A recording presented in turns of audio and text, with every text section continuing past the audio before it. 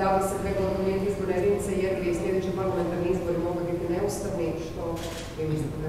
Pa, osim sugestija, ja bih rekla, postoji i odluka Ustavnog suda koja govori o tome da već deset i više godina da je e, nužno a, mijenjati izborne jedinice kako bi glas vrijedio jednako, odnosno barem približno jednako u svakoj izbornoj jedinici.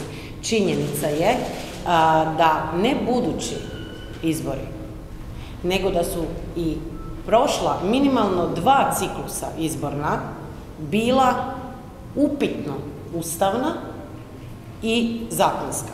Zašto? Jer smo imali, a, dakle, razlike koje vam se dopuštaju između izbornih jedinica a, u a, broju glasača vam je plus minus 5%. Mi smo na prošlim izborima imali razlike i do 25%. Razumijete? To je ozbiljna neustavnost. U međuvremenu imamo novi popis stanovništva koji pokazuje da smo izgubili minimalno 300 tisuća više ljudi u posljednjih 10 godina. Taj gubitak demografski nije jednako raspoređen u svim županijama. Dakle, neke županije su demografsku bazu gubile puno brže. S tog razloga trebamo temeljitu reformu izbornih jedinica koja, evo po nama, po našem klubu, treba ići u smjeru smanjenja broja izbornih jedinica i njihovog klasteriranja. To klasteriranje mora odgovarati administrativnim granicama županija, a, ne kao što sada imamo primjer da je grad Zagreb u četiri izborne jedinice raspoređen.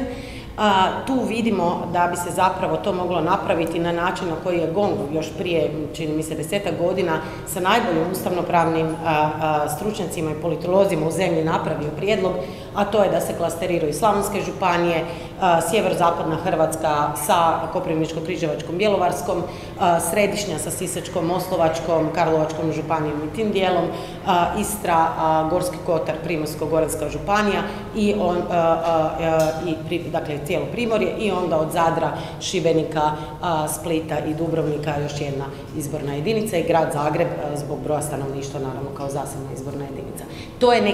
To je neko polazište, jel?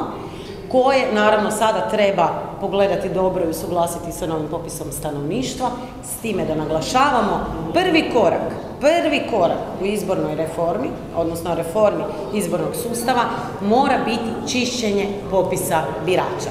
Mi na popisima birača imamo ljude koji više ne prebivaju u Republici Hrvatskoj. To je jasno. Evo daću vam primjer samo recentno gdje smo to vidjeli, grada Pule. Grad Pula vam ima 4000 više stanovnika nego birača na 50.000 ljudi.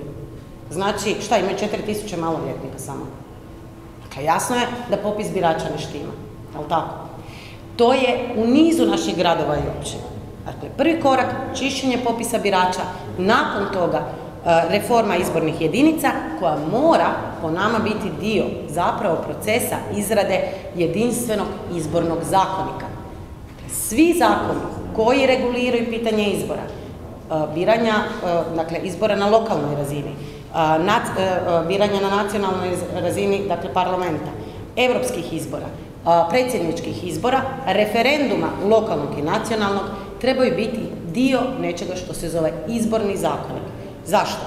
Jer ćemo onda moći usustaviti i ujednačiti sva pravila koja vam se tiču same procedure izbora, uključujući i način na koji se biraju, ko su članovi e, izbornih odbora, pa onda možete imati i stalne članove izbornih od- a, a, a, odbora koji su educirani od strane DIP-a, pod nadzorom DIP-a i gdje se dobiva jedna drugačija kvaliteta jednim kontinuitetom rada.